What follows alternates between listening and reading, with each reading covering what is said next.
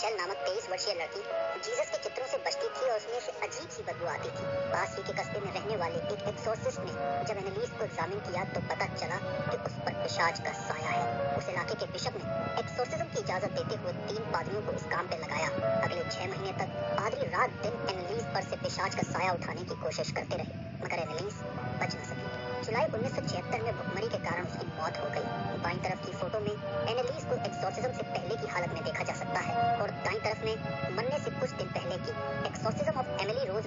Hollywood film एनालिस की कहानी पर ही आधारित है।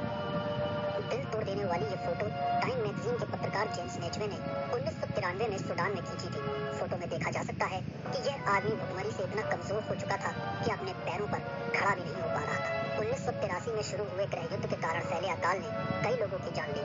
उन्नीस सौ अट्ठानवे में अकाल ने भयानक रूप धारण कर लिया और सत्तर हज़ार लोगों को पानी और खाने की कमी होने की वजह से जान गंवानी पड़ी। 2013 में गेंडेफी नामक व्यक्ति ने इंटरनेट पर एक फ़ोटो अपलोड की।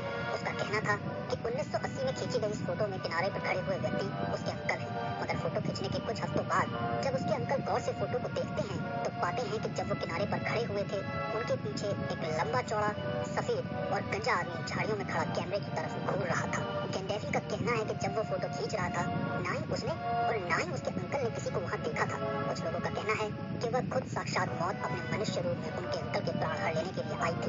मगर कुछ लोगों का यह भी मानना है कि वह व्यक्ति धक्का देने की फिराक में था। मगर कैमरा होने के कारण उसने झाड़ियों में छिपे रहने में ही भलाई समझी। यह फ़ोटो 14 साल की रजीना वर्टर्स की है, जो कि अपने घर पेसरीना टेक्सास से भाग गई थी। यह उसकी आखिरी फ़ोटो थी। फ़ोटो में रजीना बहुत डरी हुई दिखाई दे रही है, क्योंकि जो व्यक्ति उसकी फ़ोटो खींच रहा है, वह रॉबर्ट बेन रोड्स नाम का सीरियल किलर है। उसने रजीना और उसके बॉयफ्रेंड को अपने ट्रक में लिफ्ट दी।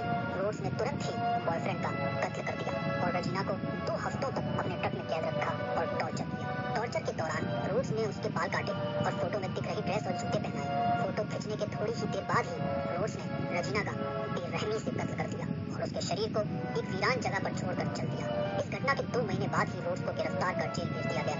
2012 में रोड्स ने कई कत्ल करने की बात को कबूल किया। फ़ोटो 1999 में कोलंबाइन हाई स्कूल में खींची गई थी। इसमें आप सीनियर क्लास के छात्रों को मुस्कुराते हुए देख सकते हैं। अगर आप ऊपरी बाई कोने में गौर से देखें तो आपको 17 वर्षीय डेलन प्लेबोल्ट और एरिक हैरिस नाम के छात्र कैमरे की तरफ़ बंदूक चलाने का इशारा करते दिखाई पड़ेंगे।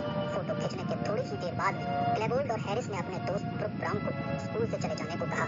इसके बाद वो दोनों स्कूल कैफेटेरिया में घुसे और अपने ही स्कूल के साथियों पर ताबड़तोड़